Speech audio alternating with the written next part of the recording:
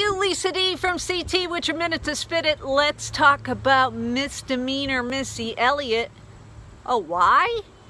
There's a petition going around the internet, and I'm going to sign it because they're getting rid of a Confederate statue in the hometown that she grew up in in Virginia, and they want one put up of her in its place.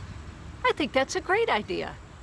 I think any community that's removing a statue should put one up from someone who actually lived there in this era that did good for the community and just was a good person.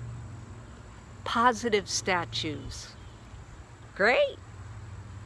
Anywho, I hope you have a good day. Be good, be safe, peace out.